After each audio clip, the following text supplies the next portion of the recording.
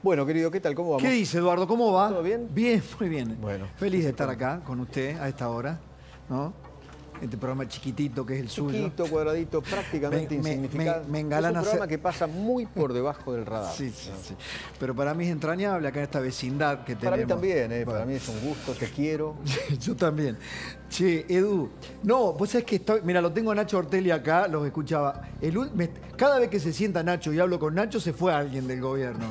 Digo, pará, Nacho. eh, este, eh, está bueno, después del, del terremoto Pose, ¿no? Eh, había ruido cuando la abuela, cuando la abuela decía, si el río suena, agua trae. Claro, obvio. Y con Pose había ruido, ¿no? Había ruido, Nacho. había, había, había, hasta que, bueno, se rompió el dique. Pero, ¿quién se queda y quién se va? Hay, hay, hay muchos que me parece, ¿no? Yo creo que se, va, se van a ir, la mayoría de los que trajo Pose se van a ir. ¿Sí? ¿Tienen alguna chance, Nacho? Este, están, ¿Van a tener algún periodo de evaluación? Sí, sí, el periodo de evalu- de evaluación está, está abierto, no tiene fecha de vencimiento.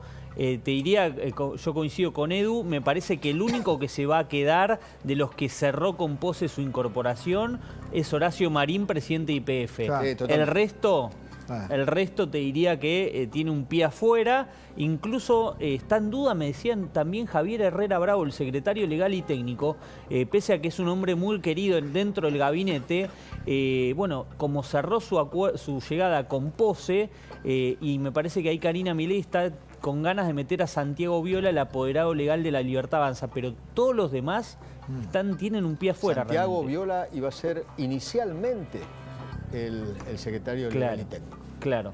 Pero Pose metió a, Exactamente. me- metió a Herrera Bravo, que ahora se ganó la confianza de, de, de todos. ¿no? Santiago, eh, perdón, Santiago Viola estuvo sonando mucho para integrarse a la Auditoría General de la Nación. Claro. Ser el auditor de la Libertad Avanza en la auditoría. Ahora, hay algo que, que te escuché, Nacho, y, y que me parece que es una pregunta pertinente. Con Francos, que todos coincidimos, es el hombre más político que tiene Totalmente. Milei a su lado. Para mí es un cambio de era en el gobierno de, de Milei. Empieza la era política. Totalmente de acuerdo, totalmente de acuerdo.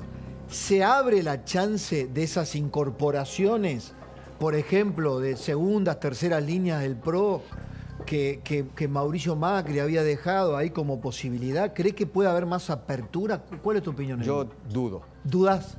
¿Cuál es la barrera para Porque para incorporar? mí el, el- el- digamos, el, stop. Hay, hay algo que caracteriza a- al tridente de gobierno, Milei, Karina Milei y Santiago Caputo, que es la desconfianza. Ok. Eh, y yo creo que Karina Milei y Santiago Caputo son los, los principales que le desconfían a Mauricio Macri. ¿Le desconfían a Macri? Para mí, para- para mí son el dique de contención. No era Pose. Ah. Viste que algunos planteaban que Pose era el que le ponía eh, la evaluación total, ¿no? Le- le- los miraba con No, lupa. Pose, Pose hizo ese trabajo, miraba, Ha pedido. miraba cuán amarillo era cada uno, Ah, el, el- el- el grado de amarillismo que tenía cada uno, mm. eh, pero creo que también en, en- en relación a lo que el tridente marcaba. ¿no? Pero sí creo que eh, está la posibilidad de que se sumen dirigentes de otros lados, no del PRO, me parece, ¿no? Me parece que Francos es más proclive a, a- a- a- a juntar Bueno, a otro, trajo a otro los tipo de cordobeses, sectores. A los cordobeses, Bueno. tal, tal vez algún. En algún momento sonó mucho el nombre Bueno, de Florencio Él Randazzo. fue, él fue el que trajo a, a Scioli. Claro. Claro. Yo creo que las acciones de Scioli con la llegada de Francos al, como, jefa- como jefe de gabinete un Crece. poco suben. Hubo un tuit de Scioli hoy celebrando, Claro, claro, ¿no? obviamente. claro, Sí, claro, claro, claro. es- También dicen que se- Acordate que Franco fue su presidente del Banco Provincia Claro. cuando él fue gobernador. Totalmente, ¿no? totalmente. Cuando se hacía la trazabilidad de francos, claro, uno ahora la casta, la casta, la casta, pero la verdad que quien conoce mejor a la casta, eh, Milei tiene al lado, el presidente tiene al lado un profundo buceador de la casta. Bueno, creador de un partido político con Manrique. Claro. ¿no? Claro. En la década del 80, 90. ¿no? Con- estuvo con, con Menem. este, Estuvo con Cavallo, con Participó políticamente con Caballo y Vélez, ¿no? Este, Exactamente. eh, eh, digamos. Es un hombre de recorrido político. Exacto. Sí. Que- que tampoco que, que se comprometió y se casó con ningún sector político De ninguna determinado. manera. Fue como una especie de, ¿cómo decirlo? Gerente político de. O como un outsider. que Claro. Todos los gobiernos al- algo le confiaban. Exact- exactamente. Bueno, eh, pero me decís que hay, hay más renuncias. Sí, hay más renuncias hasta ahora. Epa. Opa. Eh, A ver, Y siempre a la nochecita, siempre ver. aparece. Siempre ver. aparece esta hora. para, Esta para, hora. me dicen los muchachos, ponemos un urgente, hay un Claro, urgente. sí, es una urgente, urgente. vamos, más renuncias.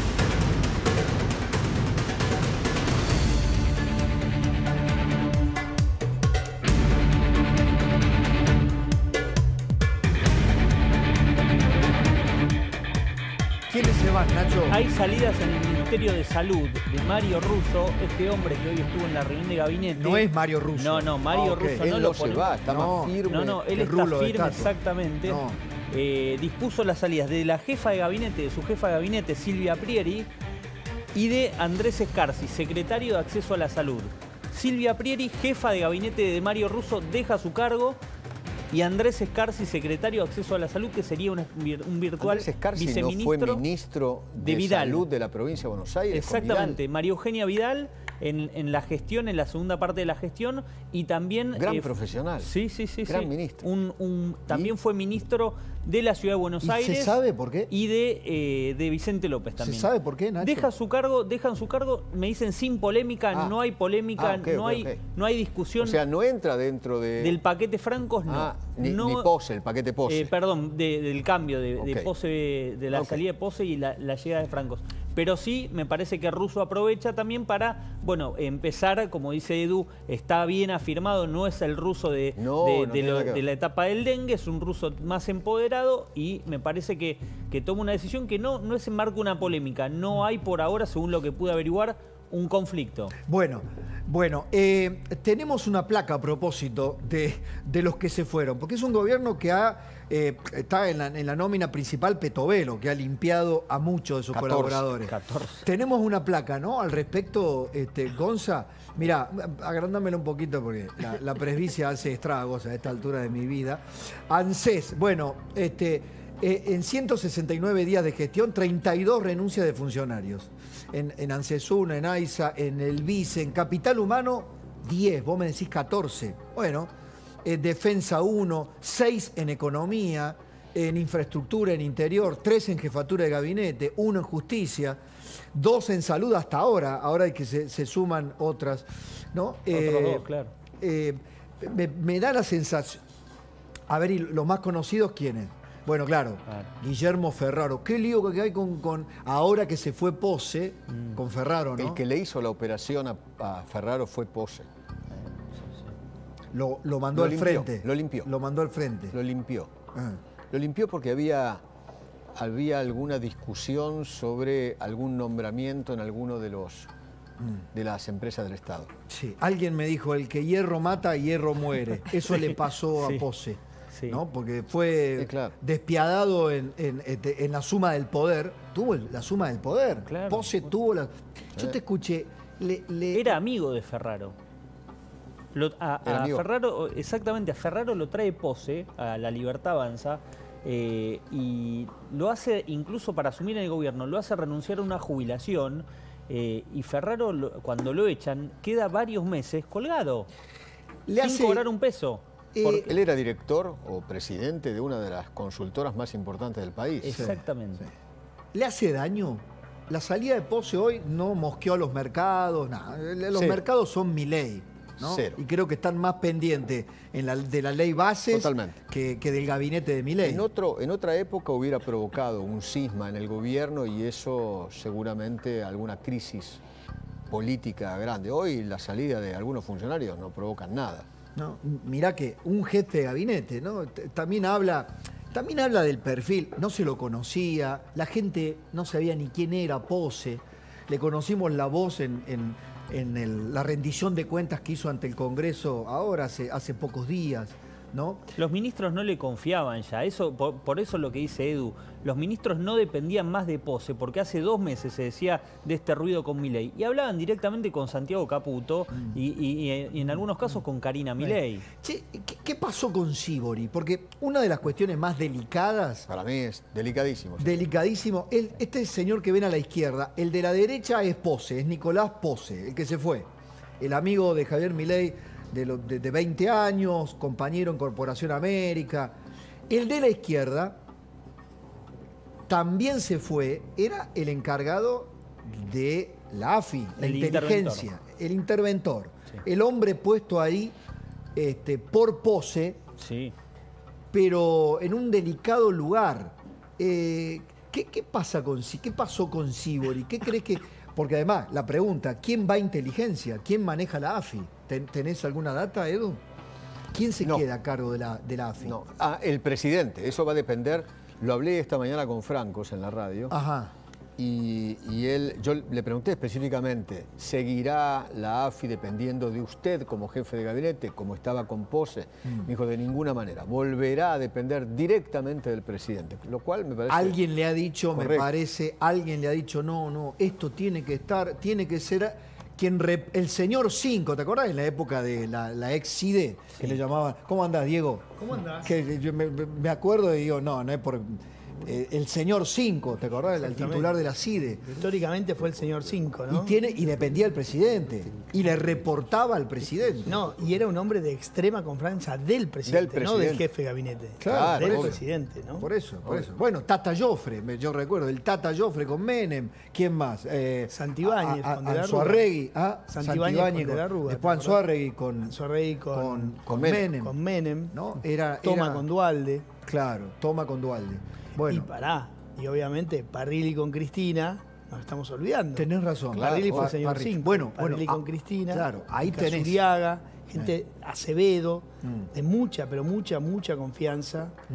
eh, del presidente, ¿no? En este caso era del jefe de gabinete. Sobre todo porque lo más sorpresivo de todo es que si se confirma, hasta ahora han sido eh, muchos, muchas versiones eh, consecutivas, concurrentes, de que había ordenado espiar o había hecho algún movimiento para espiar a sus pares, para espiar a los propios ministros. Sí, claro. No hay una- aparentemente, aparentemente eso habría ocurrido en más de una oportunidad. ¿no? Hubo como una catarsis, Hasta con. Karina. Me Sí. cuentan que hubo como una catarsis cuando se conoció que Pozzi era, era removido. Sí, sí, empezaron a confesarse los ministros entre sí. Sí, el clima, el clima hoy fue en gabinete fue totalmente distendido después de mucho tiempo, de mucha tensión. eh, y esto un poco lo hablábamos con Eduardo antes. eh, hay una versión muy fuerte en Casa Rosada, muy fuerte.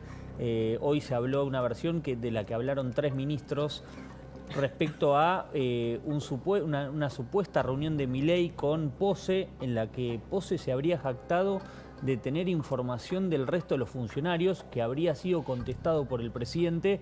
Eh, nosotros no hacemos eso. eh, Para, para, para.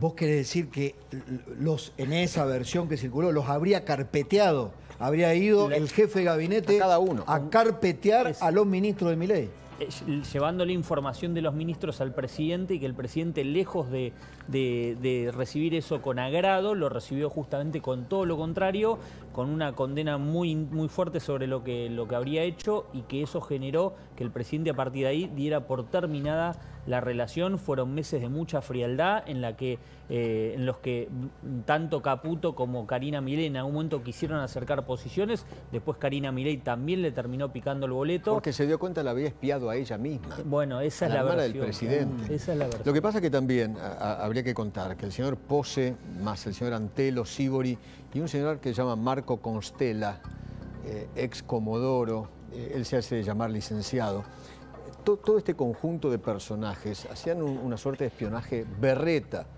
dentro del, del gobierno. Montaron una, una red de, espe- de espionaje y de, de- le voy a decir en, en un francés, muy del 1710, ¿no?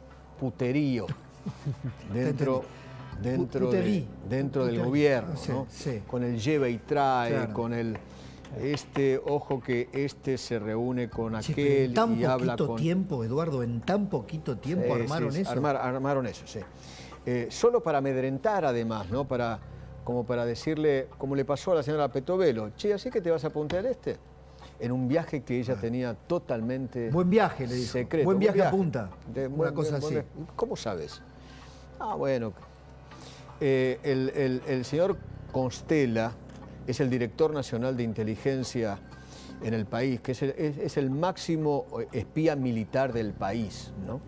Y, y- y él figura como licenciado en el, en el boletín oficial cuando es el nombramiento, lo nombró Pose justamente, pero, este, pero es militar y oculta su cargo justamente, porque es la primera vez, nunca un militar estuvo en ese cargo, ¿no? No, no lo permite la ley de inteligencia, etcétera, etcétera. Y, a- y además el señor Pose, que era un, un pulpo, eh, que tuvo una voracidad y una codicia monumental, codicia en, yo te diría, en todo el término de la palabra codicia, ¿no? En lo político y en otras cosas también, ¿no? Designó, por ejemplo, a todos los jefes de las fuerzas de seguridad y, Claro. y de, de- Y de defensa. de, las Fuerzas Armadas. De las Fuerzas claro. Armadas. A todos. Sí, cuando llegaron Petri y Bullrich. y Bullrich se encontró con que Ya ellos estaban- no, pudieron, no claro. pudieron nombrar a nadie. Claro. Ya estaban nombrados por él. Eso no había pasado Todos nunca. nunca Eso no había pasado. Nunca había pasado. Eh, eso, exactamente. Ahora, vamos del otro lado, viste la oposición, ¿no? Yo, hoy apareció La Roque hoy, hoy la- eh, y dijo, el gobierno parece un queso gruyer. ¿Lo, lo tenés a eso? A ver.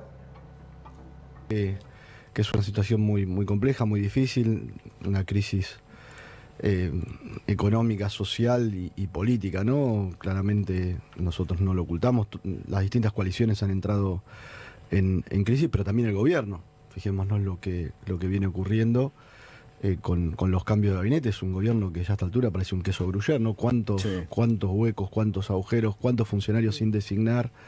Es decir, todo está en crisis en la política argentina, lamentablemente, pero no hay que deprimirse porque las crisis también son una oportunidad. Bueno, me parece que la, la Argentina política es una quesería, porque te voy a presentar el queso gruyer del peronismo. Po- poneme el queso, mirá el gruyer peronista.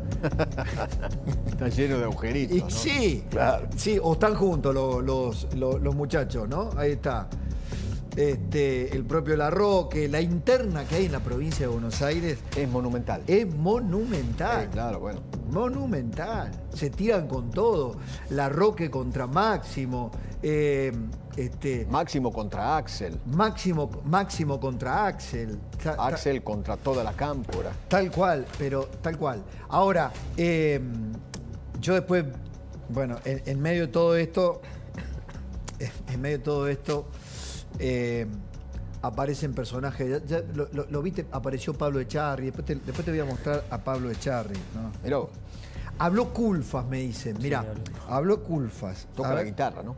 eh, sí, es de la línea albertista. Exactamente. sí. De los cantores de, de los cantores de Ámsterdam. Muy bien. Muy bien. Eh, En, en esta puja interna en el gobierno, en, en términos económicos, está el, el- el planteo de ustedes era algo más eh, exportador, como decías. ¿Cuál era el, el- entiendo que sería más del lado de la cámpora, pero cuál era en términos económicos su, pl- su, su plan que chocaba con el, con el de ustedes? Uh, es una buena pregunta. No, no sé si soy la persona indicada para responder cuál era el plan de ellos, porque la verdad que nunca lo entendí. Yo creo que no tienen plan alternativo. A ver, la Cámpora no es una organización horizontal de trabajo que se discute, es una organización vertical. Y, y yo creo aparte que la Cámpora eh, eh, es un club de fans, no es una organización política, no hay debate interno. Es decir, este, es una, una organización que se ha armado para este, decir eh, qué grande Máximo, qué grande Cristina, aguante Cristina. Me gusta la definición, ¿eh? Me gusta. Un club de fans. Me encanta. Muy bien. Sí. Coincido. Sí, sí, sí. Cul- Culfas. me- bien, bien, bien. Bien, Culfas están claramente eh, separados. No, no, no los podés juntar de ninguna manera. Eh, yo después, ahora se la han agarrado con Scioli. ¿Vos viste cómo se la agarraron con Scioli, no? Y bueno. ¿no? Traidor, no puede ser. Poneme, poneme. Dale. ¿Por qué se la agarraron ahora con Scioli? ¿Porque está más mileísta que Milei? No. Mirá. le está tocando los juegos Evita, Daniel. Ahora se van a llamar juegos de alto rendimiento, una herejía. Lo- ahora, cuando Daniel se te pone, viste, viste que dijo, acá me dijo que le van a dar el premio, ya está, ¿eh? Pero está bien, ¿por qué tenés que llamar los juegos Evita? Claro, pero, pero esto ha sido. Imagínate el corazón de Víctor Hugo. ¿Pero por qué? No, no, no, no, imagínate el corazón ¿Qué me de. importa el corazón de Víctor Hugo a mí? No, no, pero tenés que ser sensible al, al emblema, un peronista de toda su vida, desde el- los tiempos en que tomaban, de que to- en los tiempos en que tomaban mate amargo con la, la figura de Evita Perón. claro. Mi- míralo, míralo. Espanta la sola idea de imaginar a Scioli como candidato, pudo serlo, se ofreció, le dijo a Cristina Fernández en su momento. En el 2015 era una coyuntura casi inevitable, parecía que era de rigor que Scioli fuera el candidato, mirá lo que hubiera pasado. Scioli le faltó un punto para ser presidente, con los votos de Evita, de Cristina por supuesto, pero son los votos de Evita, los votos de Perón. Siempre puede pasar algo peor con Scioli y con mucha gente, porque se convirtió en el promotor de Milei como premio Nobel de Economía. Pero resulta que siempre puede pasar algo peor, y es darle una puñalada a la espalda a la propia historia de la que él se alimentó toda la vida. Yo no puedo creer, me gustaría que salga un desmentido y diga, mirá, se equivocaron, hablé sonámbulo, porque es demasiado, es demasiado. No, no sale del estupor, pero no es, no es la primera vez que se Qué gran relator, ¿eh? El mejor relator del relato. Totalmente. Este, este señor, ¿eh? Ahí va, ahí va el avión, despliega tus alas. No, no, no. me acuerdo. Ahí va Alberto. Va Alberto por atrás. Se va metiendo por atrás en la fiesta de Olivos. ¿Te acordás cuando relataba? sí, me acuerdo. Te relató. Ah, hablando de la fiesta de Olivo, poneme el, el- el meme del día. El meme del día sobre. Viste que salieron a pegarle al gobierno por el, el café que se tomaron ahí con todo el gabinete. Poneme. Po- Poneme porque estuvo muy bueno eso, ¿no? La, la doble vara kirchnerista es maravillosa, ¿no? Este, ahí está. En la- arriba Es bueno. con los ojos cerrados, ¿no? Para, para esa reunión, la hipocresía Nadie vio nada. Nadie vio nada. Ahora, se sacaron una selfie con Santiago Caputo ahí tomando un café. Con ojos de asombro. ¿no? Totalmente, totalmente. Pero, pero lo, lo de Scioli. Y después, porque aparecen así, en tanda, ¿no? Los, los chalchaleros. Eh, Echarri tiene que vender dólares para poder comer. Pablo, Pablo Echarri tiene que ve- vender. No, no, se, no te rías. Este, están en un- eh, no llega a fin de mes. Oh. No llega a fin de mes. Empatan a fin de mes, ganan, tuviste que tocar ahorros, porque eso es mucho de lo que le está pasando a la gente hoy en día, a la clase media sobre todo, ¿eh? Tener que salir a vender dólares para poder subsistir y empatar a fin de mes. No tocamos ahorros, claramente. O sea, este es un deporte que los que la clase media argentina está haciendo para poder subsistir. Yo hoy cambio dólares, hay meses que cambio dólares, que cambio porque es la única forma que tenemos para, para ahorrar en la Argentina, te lo sabemos, no vamos a poder discutir la dicotomía ahorro en peso, ahorro en dólar, o alguien que me diga, ah, ahorras en dólares, sí, señora, ahorra en dólares. La Argentina es un país con una economía bimonetaria. No hay otra forma que ahorrar en dólares. Ahorras en pesos, pones en un plazo fijo, te viene una devaluación y perdiste en ese plazo fijo en un instante. Entonces, no nos engañemos más. Tomemos el toro por las astas y tratemos de resolverlo. Así que sí, claramente, me impacta, cambio dólares y estoy en totalmente desacuerdo. Mi aliciente es que no lo voté. Como si se es como, es como un chupetín tonto, ¿no? Mira vos, te milita el dólar.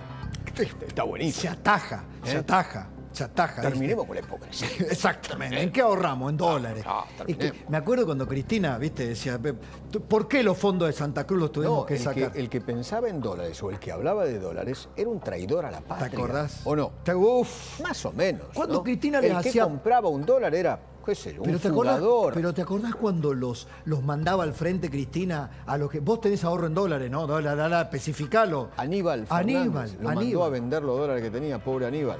Ahora te militan el dólar. Te militan el dólar. Claro. Esto por eso, ¿viste? Vos mirá los problemas del gabinete, se va Frank, se va Pose. Ahora te das Cuando vuelta. ves a estos personajes, decís, esto es fantástico, lo que estamos viviendo es, es maravilloso. ¿no? Sí, sí, sí, sí, sí, sí, sí, la, la verdad, la verdad, la verdad que sí. no es que no estén pasando. Sí, ya, ya vamos a hablar. Obviamente, Se está pasando. por eso. La, la cosa está mal y lo, y lo señalamos, ¿no? Eh, Las cosas están muy mal. Eh, me parece que lo de hoy, como para cerrar, Edu, eh, es la política, ¿no? La, la- la- la- la política viene al auxilio. A todo esto, datos. ¿Cómo anda, Flor? ¿Todo ¿Qué bien? tal? Muy bien. Sturze- ah, te quería preguntar. Sturzenegger. eh, Francos me dijo hoy que va a ser ministro. va a ser ministro, ¿no? Lo confirmó. Bueno. No tiene el nombre todavía, pero va a ser ministro. ¿Qué tarea tendría Sturzenegger de asumir? Bueno, primero Las está primeras tira- tareas. Está tirando redes para armar equipos Sturzenegger. Sí. Todavía no está confirmado su equipo, pero está tirando redes entre viejos conocidos. ¿Cuáles son los temas que tiene en agenda Sturzenegger? Él, en principio, vos sabés que es el ideólogo de la ley Bases, dice cerca de 30% de lo de la ley Bases, o sea, gran parte además de lo que bochó y están bochando los senadores, puede salir vía reglamentación vía reglamentaciones. Entonces, la idea es que va a venir Sturzenegger con un paquete de reglamentaciones. Hay temas relacionados con la cultura. O sea, para, para, eh, interpreto, ¿la letra chica casi va a ser más importante que la letra grande? Siempre la letra chica, reglamentación es más pero importante que la además ley. ellos se dieron cuenta que hay algunos, algunos temas, caso de cultura, transporte, incluso algunos temas relacionados con la economía, que estaban en la ley bases, que quedaron afuera después del tratamiento de diputados y ahora senadores, que pueden salir vía reglamentación que no necesitan ley. Y a eso se le agrega, atentos a tema lo que viene de educación, no te olvides del paquete anticasta que había prometido mi ley. Ahí están los sindicatos. to- Ahí están todo los sindicatos. depende, todo depende primero de que salga la ley base, ¿no? Hay, bueno, en un ratito las primeras medidas del nuevo ministro. Eh, última, ¿sale o no sale la ley base? Porque eh, hay cautela, ¿eh? Nacho, ¿qué datos tenés? Bueno, Eh, mañana tendría que salir el dictamen. Mañana debiera salir el dictamen. Se mostró optimista Francos en la entrevista que, que- que le dio a Edu Te digo que sí. esta mañana. Sí. Confía en que va a salir en general. Yo creo lo mismo. Yo creo que la resistencia eh, y, el- y las objeciones que puso la oposición dialoguista tenían que ver con el tema del pacto de mayo. No querían, un sector no quería eh, un pacto de mayo, pero sí quiere darle la ley y me parece que va a terminar saliendo. ¿Te agrego no algo? Sí. Hoy hablé, hace un rato hablé con Eduardo Vichy, que es el senador nacional por, por la Unión Cívica Claro. Radical, es el presidente sí. del bloque, y él me decía que va a tener los votos necesarios para la votación en general. Sí. Que va a haber modificaciones, después va a pasar, pero, pero que en general mínimo 37 votos los va a tener seguro. Entre 37, 38 y 39 votos, seguramente la ley, la ley bases va a tener eh, la aprobación en general en el Senado. Bueno, ya en un ratito se suma Laura Di Marco, analizamos todo lo que se puede venir. Lo veo a Alejandro Finocchiaro. Qué lío que hay que en el PRO. Hablando de queso gruyer en la provincia de Buenos Aires, ¿no? Se están tirando con los platos en el PRO. Exactamente. Gracias, querido. Abrazo grande. Chao, hasta mañana. Ahora podés hacer la ciudadanía italiana sin necesidad de sacar un turno y sin viajar a Italia. De Martin